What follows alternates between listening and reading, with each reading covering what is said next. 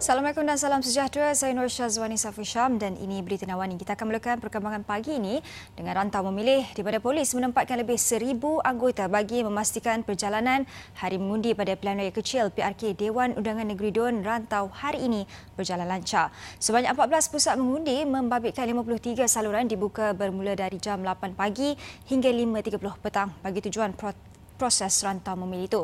Seramai 20,793 orang daripada 20,804 orang pengundi biasa layak mengundi hari ini.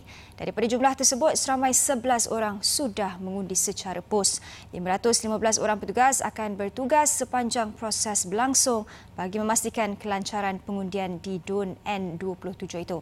PRK DUN Rantau menyaksikan pertandingan empat penjuru antara calon Pakatan Harapan Dr. S. Triram, calon Barisan Nasional Datuk Seri Muhammad Hassan dan dua calon bebas masing-masing bekas pensyarah dan suri rumah iaitu Muhammad Nur Yassin dan Malavizi Rajaram. PRK tersebut diadakan berikutan Mahkamah Persekutuan menolak petisyen difalkan Muhammad yang juga penyandang Dun Rantau untuk mengetepikan keputusan Mahkamah Pilihan Raya Seremban pada 16 November lepas yang mengisytiharkan kemenangan beliau bagi kerusi berkenaan pada Pilihan Raya Umum ke-14 terbatal dan tidak sah.